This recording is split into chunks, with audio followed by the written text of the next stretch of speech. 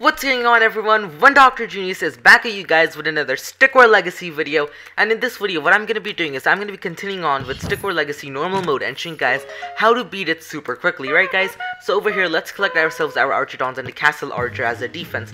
Now what you guys will see over here is I will, I'm sure I want to upgrade my miners right now because these miners are the thing which your entire operation is lying on. If these guys can't mine fast and get you gold faster than the enemy team, you're gonna lose, right? Just trust me. What you guys want to do is you want to upgrade its pickaxe at least twice or the bag. Right now you guys will upgrade the pickaxe and now we're gonna be ambushed. Woohoo! Let's do this! Ambush, your army has been attacked by natives of the land. Um, resist them until sunset so more units can arrive. Oh no, we have three of those Spirited guys, but luckily we have a Vamp skin, so these guys will gain some health back, right? Guys, remember, Vamp skin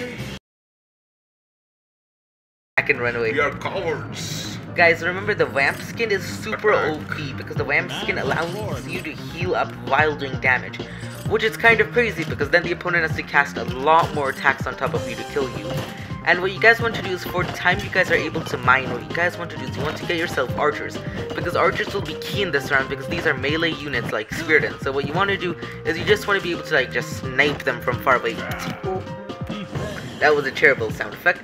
And over here you guys can see basically two of these Spearton soldiers are coming at us. And we also have two archers just freezing them to like death, I guess you could say. But yeah, here you guys can see what's going on. Hey And there you guys go. Ow, someone hit me. Wow, these guys do really well. So you guys basically see the technique here. What you guys need to do is, is for this entire series, you guys need to make sure that your um what do you call it? You guys need to make sure that your Swordwraths and archidons are upgraded to the max. Right over here you guys can see how these guys are completely destroying them. And hold up, are these guys able to knock back my units? Wait, did that guy just fall back over? Wow! Oh look, another wave of them is coming. There are only two of them, but they're gonna be like just shot at by two archers. Bam! There you guys go. You guys can see these people are trying to knock each other over and this is lagging a bit. Yeah, it's yeah, I know the vamp skin is OP, right? It just continuously heals your unit, so you can just keep on like, ah, why won't you die? But they keep on healing, so that's the thing. Right, so basically you just want to wait until sunset, and this isn't gonna be too hard. It's gonna be a piece of cake. We have like a Swordwrath for each and every single one. You guys can see it's bam, that easy. Just look at all of that green stuff over there. They're healing up so much. And that was actually pretty easy if you guys ask me. Sure, it only took 2 minutes and nearly 30 seconds, but bam, there you guys go. Let's collect our stars, and now I think we should upgrade the pickaxe all the way, and maybe the miner's bag after that. And then next up, I'll upgrade the statue crown actually. Now the reason why I'll upgrade the statue crown is so that we can gain gold while we're not mining, or miners are dead. Now, here we go. We shall fight the mighty Swordwrath. And for this, the only thing which you guys need is archers. To be honest, the only thing you guys need over here is archers. Like, maybe at first you guys will need a flanks of Swordwrath, or half a flanks of Swordwrath, and then just archers, right? So over here you guys can tell the game is basically forcing you guys to build an archidon. So yeah, let's follow along with this tutorial. I mean, you can't skip it, unfortunately. Here you guys can see our Archidon is summoned in, and I wish they could allow us to skip this tutorial on how to use an Archidon, although I do know they changed the mechanics a little bit, and I do not like the mechanics change at all, but you guys can see we're basically like forced to do all of this, and this guy just decides to stop moving mid-match, he's like, he's like, he's like, you know what, I want to die, I want to die, I'm gonna stand right in front of this right guy. In the face. Please, one more arrow. Although although when they're controlled these guys end up doing a lot more damage and they usually don't do that much. But because this guy is long range it gives them a huge advantage although their damage right now isn't too good. Right in the thigh ow that hurts. Stop it. And now you guys can see basically I just summoned in some of Swordwraths for no reason so I guess my Swordwraths are gonna ruin this attack although I should get more archers right Archers are much easier. Just look at this guy. He's just being tortured over there. He's just trying to stand over there, and he's continuously getting sniped by arrows. this guy must be like Why? And he's still enjoying it. you know, I can still stay after seven arrows. Not seven. I think that was like thirty-eight thousand. Yeah. So basically, what you guys want to do is like a must thing to do is to like get yourself like eight miners because once you get eight miners, the rest of the game goes by super easy.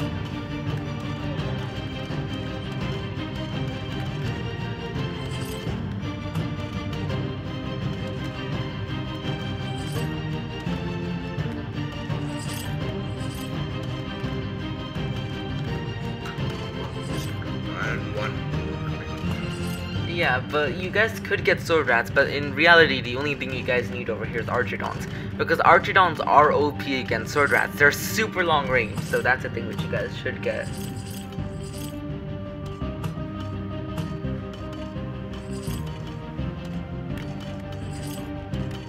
In this case, our Archidons, they have ice skin. And that kind of stuns the enemy. Well, it So slows them like down. a few Archidons and Sword. It just gives them hyperthermia, and those people are like, slow, fast again, slow, fast again. And in the meantime, our archidon, our Swordwraths are like, well, they're being slow, so why not kill them? Bam. Cut. Chop. Chop. Cut. Chop. Gone. Yeah, so right now this would be enough to take over the statue, although I want to get a few more archers.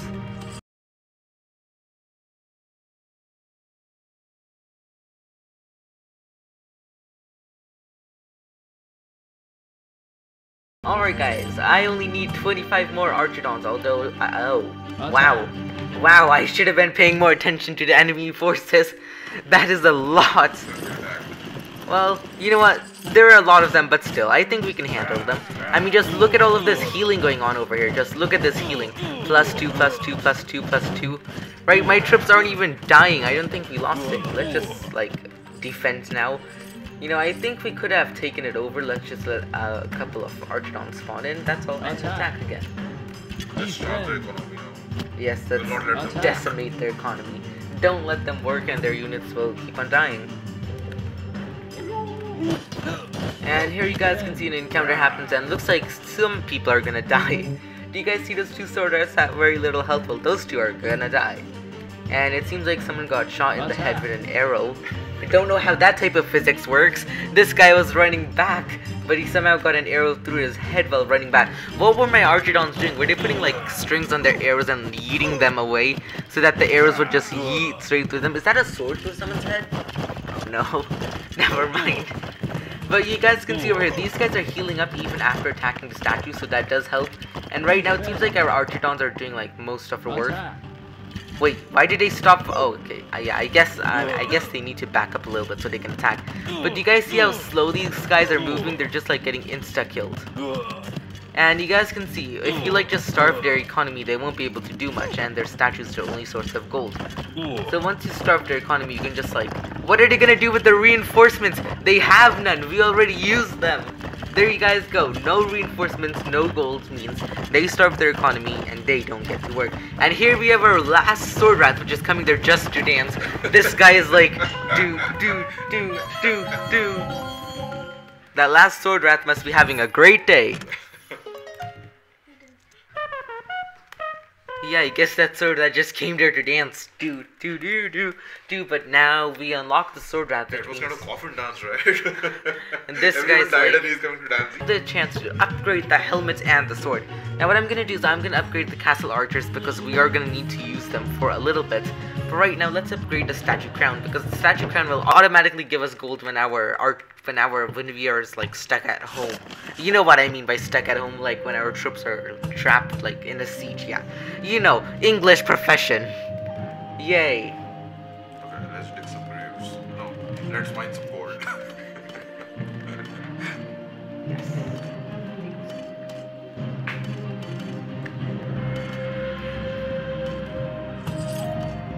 And yeah, so basically for every round, the thing which I do is I get myself 10 miners usually, and it works out pretty nice if you guys ask me. 10 miners, 8, 10 miners, what am I saying? You get 8 miners, each get 100 or 200, 125 gold, and bam, in a second you guys can see I'm basically getting 800 gold if all of them mine in synchronization. 60. No statues here. yeah, we just got 60 from the statue, which is pretty cool if you guys ask me.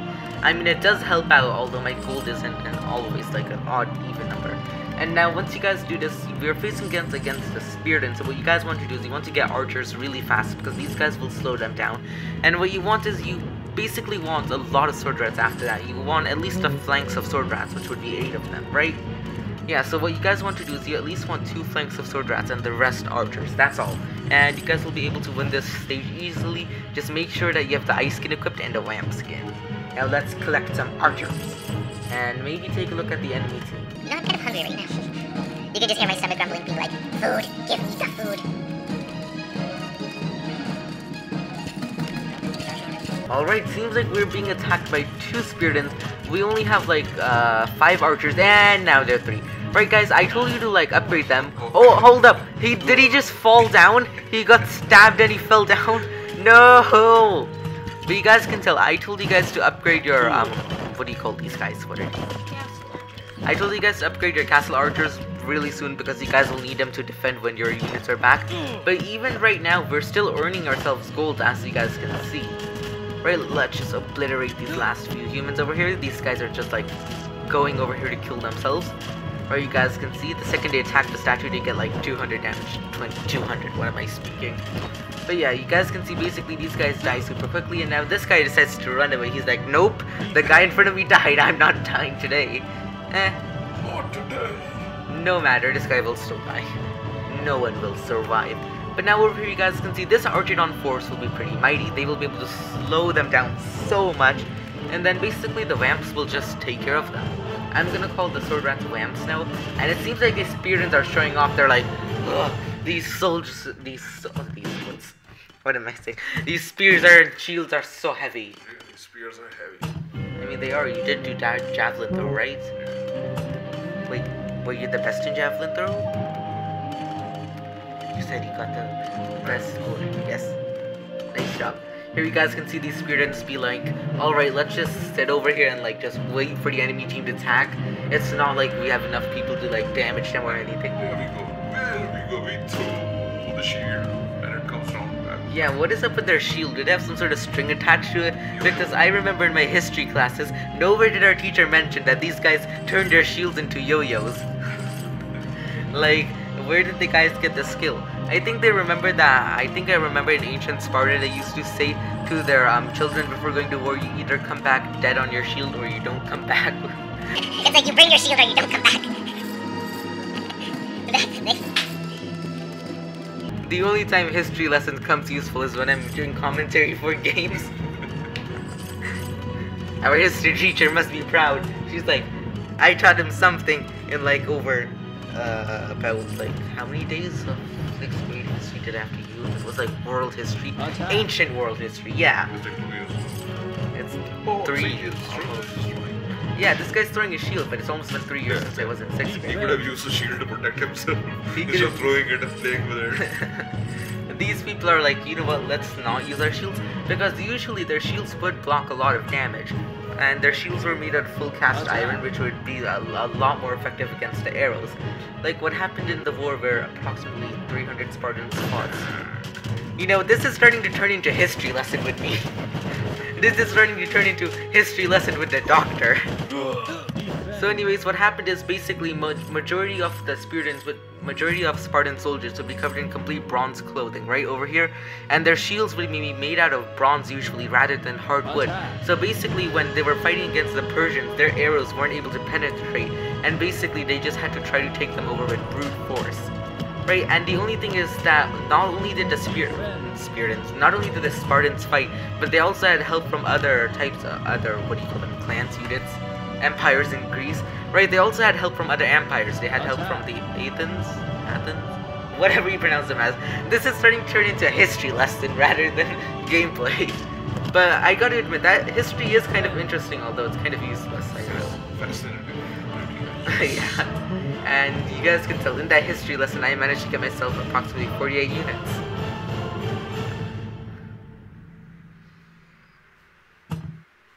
Attack. Alright, now these guys are just starting to show off. They're like, Let's slam the uh, spears. I can't even speak properly. Let's just slam Oh, oh no, he just got. How are these arrows shooting him face first? Like, what are these arrows? What are their physics that they just decide to curve and rebound back? What happens if that guy wasn't there? Would these people get shot by their own arrows? I don't know what sort of arrows do they have. But anyways, these guys are just like about to head into full-on battle with two flanks of Swordwraths, and they decide to run away like scaredy cats. Great job.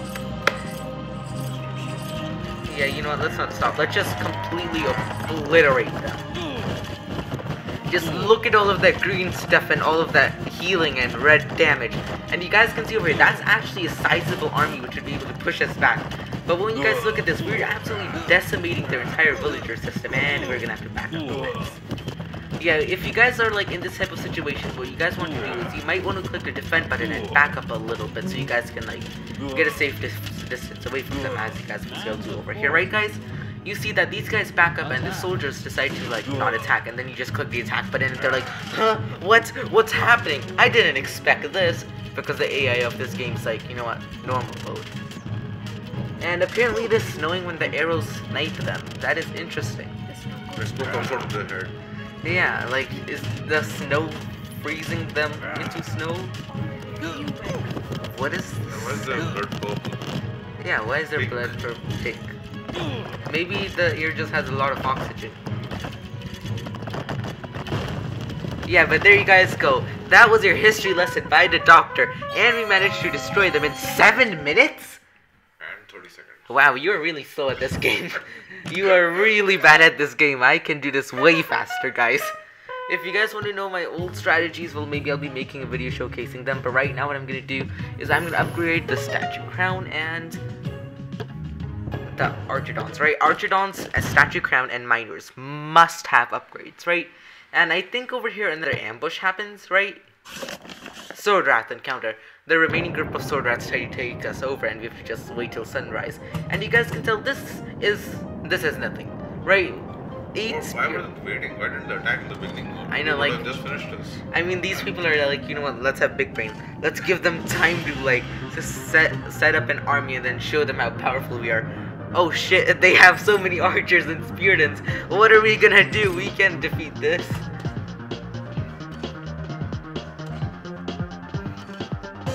But really, instead of the Speartons, what you guys could have done is you could have just gotten 8 Speartons and they would have been able to hold them all off. Trust me guys, I've done this before.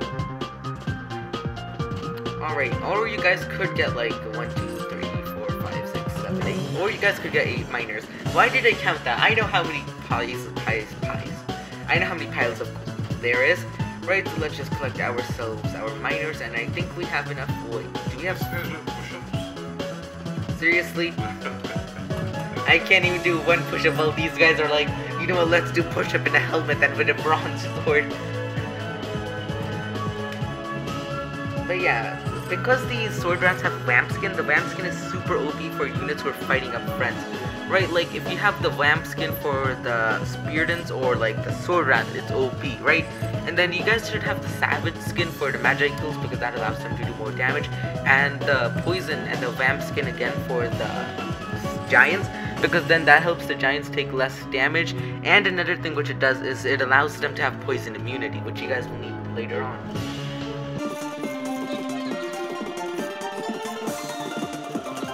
Alright guys, let's just increase our army by a bit and we should be ready to go into battle pretty soon. Yeah, how long does it take for sunset to happen? I'm pretty sure it doesn't happen in like 2 minutes, but okay. Seems like their world is going at like 5 trillion times the speed. And we are attacking, we have gone to war, and it seems like these guys are attacking, but look at how slow that guy at the front is. And it seems like my 4 Swordwraths are managing to absolutely decimate them. What's going on over here? It's like, it's only 8 versus 30 and these 8 people are winning. These guys are like super soldiers over here. And they dance. And they dance. After murdering, ruthlessly murdering everyone, they start dancing. Very Uh, cruel. Way too cruel. And you guys can see, we got a chest. And now, guys, another thing is, chests are OP in the game. Remember to open them because they give you gems and skins. And you guys should always equip your skins because they do help you out a lot. Like, they help you out a lot more than you could ever imagine. Right, you guys we'll see, you just go to your chest slots, click the collect button, open chest, and bam.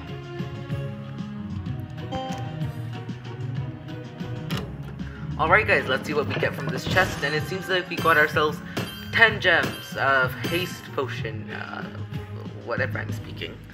But you guys can see, basically this is all we managed to get, and when you guys get a skin, which you already have, you guys get like the gems value of it, what they say the gems value are, so that's a thing. But yeah, since we already used our upgrades, I think we should go into the next round. But anyways, guys, that's all for today's video. I hope you guys enjoyed this and basically found this video sort of helpful and figured out how to move on forward and found this history lesson helpful, right guys? If you didn't like the gameplay, tell me you liked the history lesson down below and share this history lesson with your friends. But yeah, that's all for this video. One Dr. Genius is out the house. Bye and have a good time.